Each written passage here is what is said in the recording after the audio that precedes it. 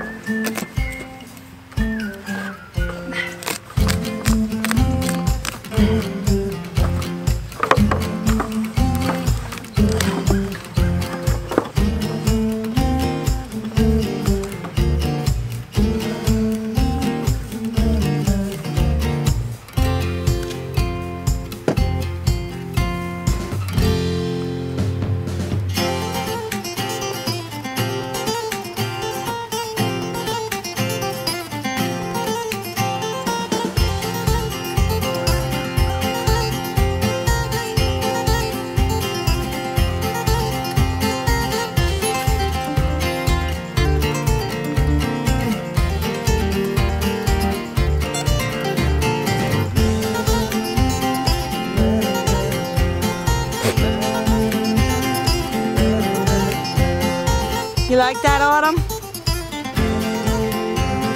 So yummy? She likes it. Not all of the goats love the pumpkins as much as some of them do. But it is a really tasty treat for them. They mostly consume all of the inside. I think they like the hay more. So one thing you're going to hear over and over and over and over and over again in the homesteading community, and really anybody with livestock in general, are going to tell you that pumpkins deworm your livestock. Is that really true? Is it? Well, I can tell you it is definitely true. Pumpkins are a delicious treat for any of your livestock. They do most of the time enjoy it. Not all of them do. It is a nutritious treat where you will get a good vitamin and mineral into them so that it is a good idea to feed pumpkins to your livestock. Yes, absolutely. Especially if you can get them free after Halloween like a lot of us farmers are doing right now. That's what we're doing and we've always done but we're not deworming our livestock with these pumpkins. I'll tell you that right now. Do pumpkin seeds contain an ingredient that has the ability to deworm? Yes, it absolutely does. But you're not gonna have any of those deworming effects if it's not in the right dosage. And it would be pretty hard to get that dosage high enough for a goat for sure. So there are plenty of those scientific studies that I absolutely adore that do show that pumpkin seeds, Autumn is jumping on me in case uh, you see me moving a lot. she's being naughty. She's not trying to be naughty, she's just trying to get my attention. So those studies have proven there are active ingredients in pumpkin seeds that will cause the parasite to leave the goat's body. Definitely but the amount of that ingredient in a pumpkin seed is minuscule.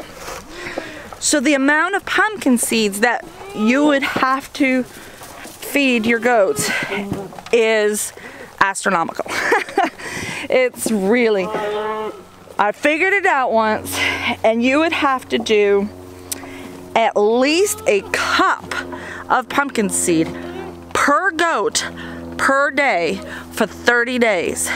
And the amount of money that would cost if you were to buy that many pumpkin seeds is definitely not worth it. There are so many other things that you can use to help boost the natural immune system against parasites, herbs that fight parasites and kill them pretty darn well without such high volumes. And of course, there's always the chemical dewormer when you run into a problem. But feeding pumpkins to your livestock is not gonna deworm them. But they will love it, they will enjoy it, and it is a really nice treat. And it helps supplement Oh gosh, I'm getting stung. Why? And it will help supplement your feed costs for the winter. So by all means, get all of the free pumpkins you can and chop them up and feed them to your goats. I will say, the more I chop them up, the more they seem to eat the orange pulpy part. So the smaller you chop it into bite-sized pieces, you're gonna have a better effect. But I don't really have time for that. And we have um, a system in place where we gather up the pumpkins from the day before that the goats nibbled on and we bring those to the chickens and the chickens do a much better job about eating the pulp than the goats do. Um, so we get a nutritional boost in our chickens and it really does seem to help with egg production. So they like it, we like it, it works out good for everybody, but don't count on it to be a dewormer for your animals.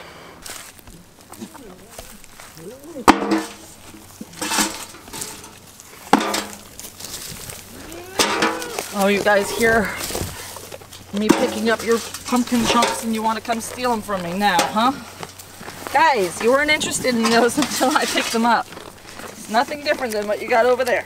Go eat the fresh one I chopped for you this morning. Good girl. Dominique, you gonna stay and help me? Dominique is my shadow when I'm out here, so she's always following me around. So yep, I just pick up these chunks before they get moldy so that the chickens can enjoy them as well.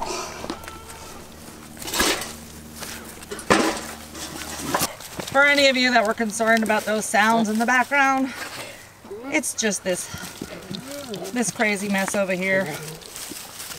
Fancy 2 is still not bred and she's still coming into heat like crazy.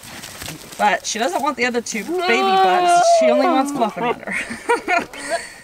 and so they're all making funny sounds and doing their goatee fall thing. fluffing under, you are funny. Now do your thing. Oh gosh. Virtue, that's a funny sound too. Yeah, you sound like a baby. You sound funny too.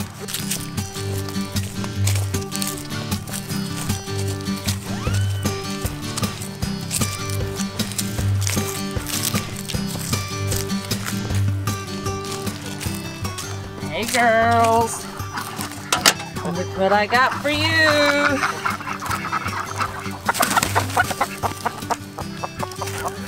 Enjoy.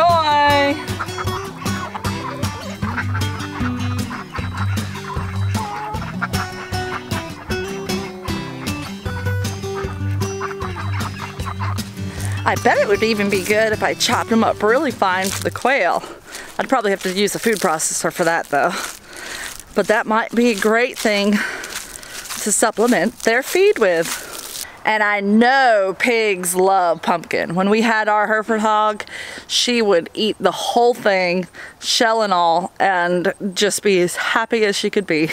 I know I normally get more into the technical side of things and the scientific names for the chemical compounds and which vitamins and minerals, but what I'm gonna do instead today save some time because I've got to get back in the house now and get started on homeschooling is I'm going to leave a link down below in my description to an article that my friend Amy Fewell wrote that really goes into much better detail about why pumpkin seeds are not dewormers. She gives lots of great scientific based research in her article that will help you learn more about it. So don't take my word for it listen to the Chicken Queen, my friend Amy Fewell. I hope that you have learned something new with me today, and I hope that it does not discourage you from giving pumpkins to your livestock. I want to encourage that It is a great fall tradition that should carry on for every livestock member of your family. for sure. It's a wonderful, wonderful thing to do. But I just wanted to make sure that nobody was counting on it to keep their animals healthy and safe from parasites. Because the last thing any of us need is a parasite outbreak when we're not expecting it because we thought that we had dewormed them with the pumpkin seeds. So,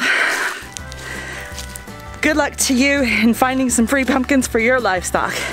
We'll see you next time on Wholesome Roots. Oh, and keep in mind, if you get some of these beautiful heirloom pumpkins in your free pumpkin batch, save the seed and eat the pulp for yourself. It's delicious.